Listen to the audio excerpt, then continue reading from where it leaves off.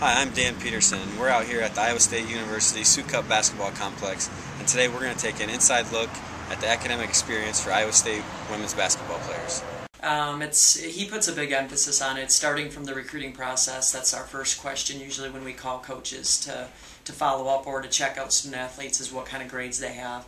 Um, he talks about it daily in practice, just reminding the student athletes um, what you know to take care of business, to make sure they're on top of it um, to look ahead in their schedule. So it's something we talk about every single day, and we're in close contact with the academic staff to make sure that they're taking care of business. You know, it's kind of the same thing. We, we check out early in the high school years kind of how they are so we know a little bit more about them coming in. When their transcripts come in before their freshman year, um, where we take a good look at that just to make sure we can uh, communicate with the academic people, with the academic advisors, and kind of when they look at it, they'll know key problem areas maybe that we have to be concerned about.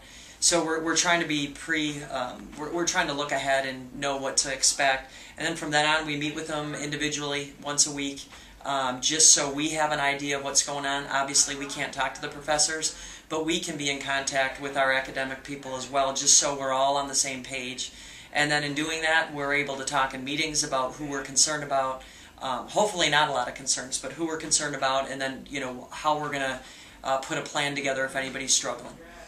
Uh, I would describe my academic experience here at Iowa State uh, very well. Um, we get tons of help with the professors and everything, and they they're always willing to help us when we need it. I mean, it's the biggest thing is the student athletes taking the initiative to, you know, emailing our professors when we need to, and they're always more than happy to help us out. So, I mean, it's great. I'm so glad to be at Iowa State with all of our opportunities that we have and um, in the Ames community. It's amazing the active community that we actually are. The resources that we have are the Hixson-Lied Academic Center, Success Center, and it's open pretty much 8 to 10 every night there's always tutors in there willing to help us out and free printing and we also have the the basketball facility where we all get free printing and free internet access and there's two computers here as you can see. And it's it's really it's a great resource because everyone uses it all the time it's it's great.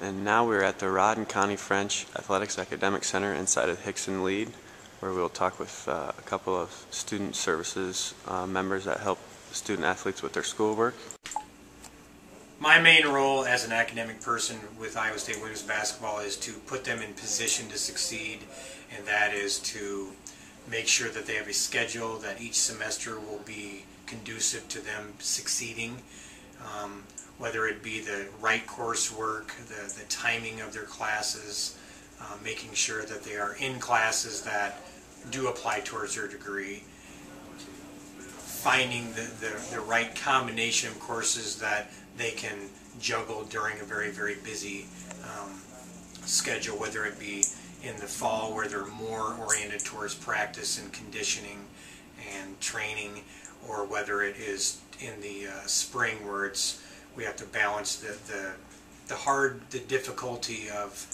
of um, men, the mental aspect of, of, of um, competing and that uh, so a couple of things that I do to help student athletes with their academics is um, I travel with the women's basketball team and help monitor study hall. You know, maybe they I might have to proctor an exam on a bus or in a hotel room on the road.